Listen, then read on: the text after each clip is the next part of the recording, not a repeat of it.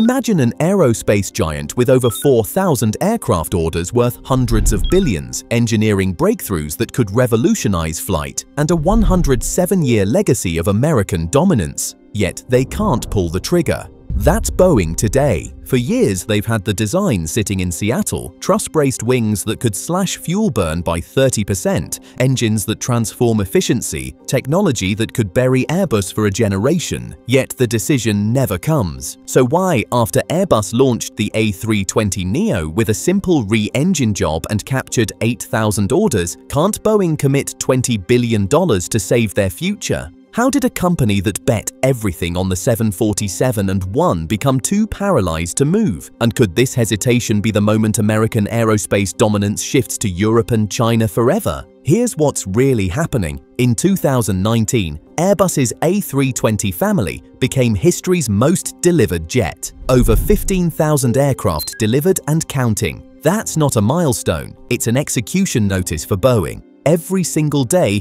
Airbus delivers more planes. Every airline that orders an A320neo, locked in for 20 years. Pilots, parts, training. Boeing will never touch them. Think about it, over 6,000 Airbus narrowbodies on order. That's not a backlog. It's a generation of airlines Boeing will never get back. But here's where the math turns brutal 44,000 new aircraft needed over 20 years. Boeing's market forecast over $9 trillion in total orders. Most will be narrow bodies. Right now, Boeing's getting crushed. But here's the trap nobody talks about. Boeing's sitting on over 4,000 MAX orders, hundreds of billions locked in, cash guaranteed through 2035. Every plane delivered pushes the decision deadline further. Every delay costs market share they'll never recover. But why can't they they just win back airlines from Airbus? Here's what airlines never tell passengers. Once they pick Boeing or Airbus, they're trapped for decades. The switching penalty has tripled since 2000. Simulators, millions each. Ground equipment, millions more. Even the catering carts are different sizes. Think about this. Every year, Boeing delays, the walls get higher. Southwest's turnaround times tell the truth. Used to be 25 minutes in their heyday. Now, 35 to 45 minutes on average. Bigger planes, tighter security, complex boarding, everything takes longer. Ever wondered why airlines never switch manufacturers? Would you pay millions to switch aircraft types when your entire operation runs perfectly? That's the trap airlines never escape. Think Airbus is Boeing's biggest threat? Think again. The real enemy isn't Airbus, it's physics. The 737 was designed in 1967, when fuel was basically free, when airports had infinite space. Today, different universe. Here's what's killing Boeing. Airlines need planes that carry more people without bigger gates. The MAX 10 can't stretch it another inch. Environmental regulations aren't suggestions anymore. They're death sentences, EU emissions trading, California fuel standards. Norway wants fossil-free domestic flights by 2040. The next plane can't just improve, it needs to revolutionize or the company dies. But here's where it gets interesting. Inside Rolls-Royce's facility, the Ultrafan engine hit a milestone, 10% better than current engines, potentially 25 5% gains versus older models. The catch? It's designed for wide bodies, scaling it down for narrow bodies. Rolls-Royce hasn't committed. Boeing's waiting to see if it's even possible. Here's what changed everything. June 2024, Boeing issued requests to engine makers for £30,000 thrust engines. The specs? Perfect for a 737 replacement. They're not waiting anymore. NASA's truss-braced wings don't just improve efficiency, they transform it. Studies show 30% potential fuel savings. On a long transcontinental flight, that's 12,000 to $15,000 saved per trip. Multiply by 10,000 flights, 120 to $150 million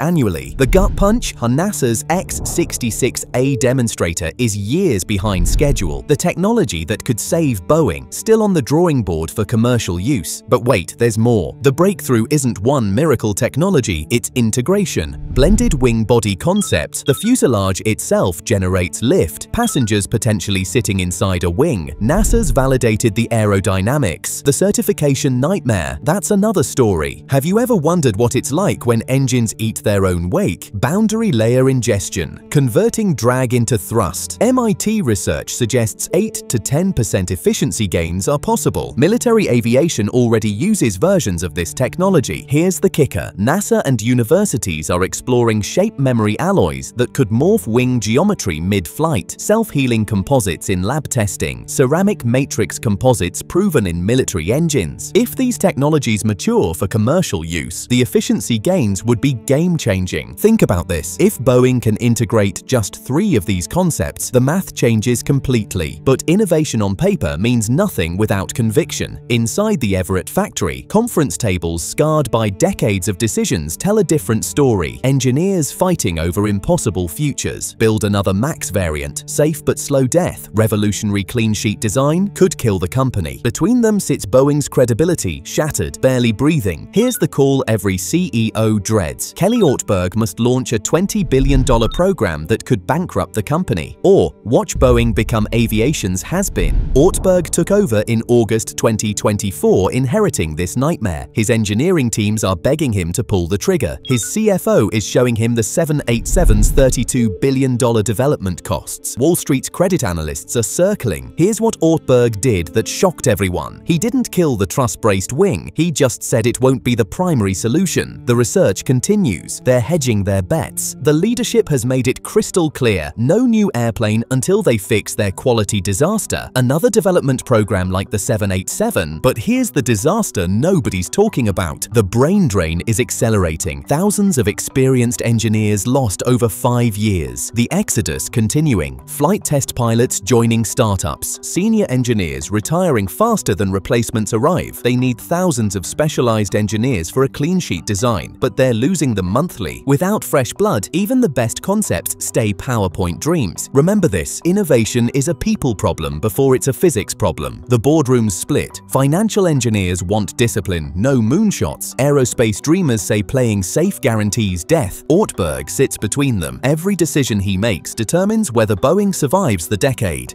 Here's the thing, every quarterly earnings call is now appointment viewing for industry watchers. Because one day, Ortberg will have to make the call. Between spreadsheets and wind tunnels lies an impossible choice. Think this is about market share? Think again. This is about survival. If Boeing launches and fails, bankruptcy. The MAX disaster's already burned $20 billion.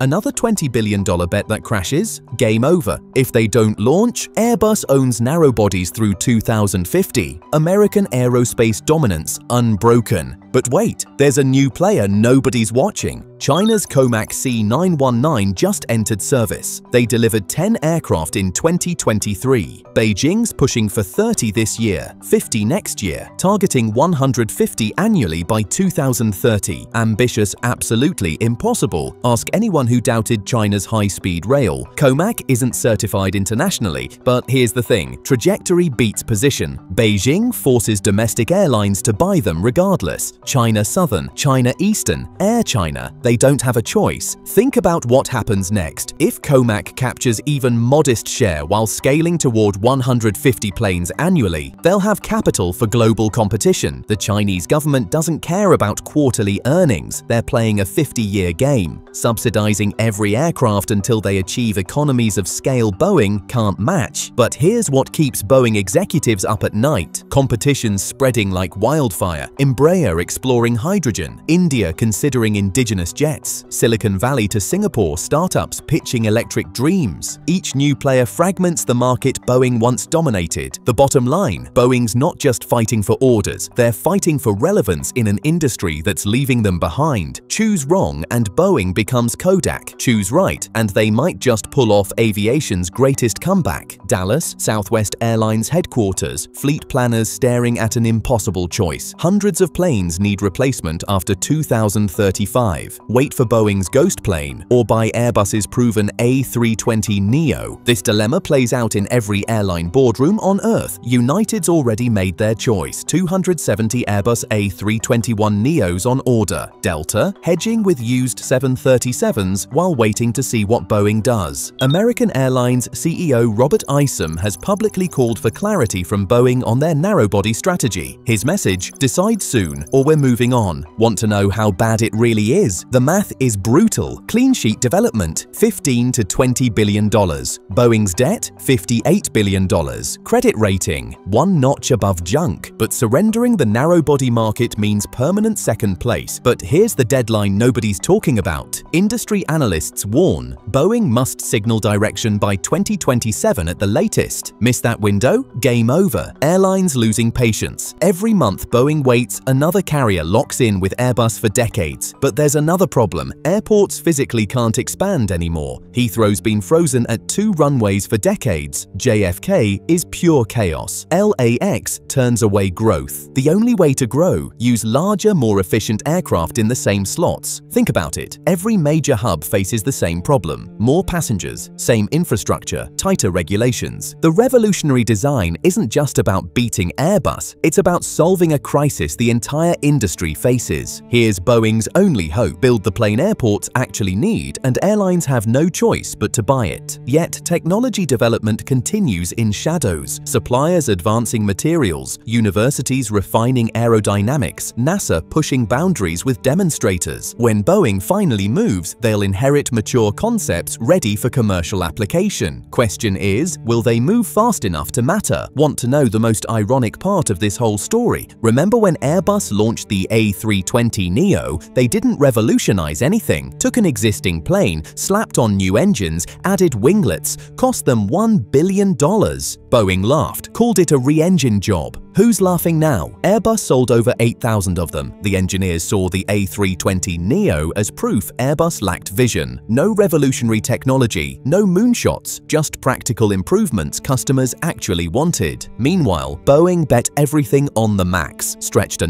1960s design to its absolute limit, added bigger engines that didn't fit, created software to hide the handling problems, with 346 people paying with their lives for Boeing's innovation. And now, a choice enters the equation, one that could destroy Boeing if it goes wrong, play it safe like Airbus or swing for the fences and risk another catastrophe. The company's studying every option, a max stretch that pushes the design to its absolute limit, a clean sheet narrow body with conventional tube and wing but modern systems, or the moonshot, truss-braced wings that change everything but risk everything. The clock's ticking, every month of delay costs market share, every Airbus delivery is another nail in the 737's coffin, but here's the twist nobody sees coming. What if Boeing's delay is actually their secret weapon? While Airbus commits to incremental improvements, Boeing leapfrogs with mature technology, next-generation engines ready, composites achieving new economics, AI optimizing impossible designs. Sometimes second place shows you exactly where the leader stumbles, but let's be honest, failure scenarios loom massive. The successor arrives broken. Airbus dominates through 2050. Boeing becomes a defense contractor, American aerospace leadership shifts overseas forever. Industry insiders paint a different picture, incremental improvements to the MAX, maybe folding wingtips like the 777X, enhanced engines when they're ready, nothing revolutionary, nothing that saves them. Think about this, would you bet $20 billion on Boeing pulling off the impossible? Would you trust them after the MAX disaster? These aren't hypothetical questions, airlines are asking them right now. Ortberg's asking himself every morning. Every Boeing engineer working late in Seattle tonight knows what's at stake. This isn't just another aircraft program, it's the battle for American aerospace dominance. Boeing stands at aviation's crossroads, launch a revolutionary successor, potentially reclaim everything. Wait too long? Watch it all evaporate. Here's the countdown. Ortberg has maybe 18 months to decide. Signal commitment by late 2026, launch direction by 2027, or lose the narrow-body market forever win and Boeing reclaims the throne. The 737 replacement becomes the defining aircraft of the 2030s. American engineering prowess validated for another generation. Lose and the 737 becomes the last great American narrowbody ever built. Airbus and Comac divide the spoils, and Seattle becomes a ghost town of abandoned dreams. Hit subscribe and click here to check out another video.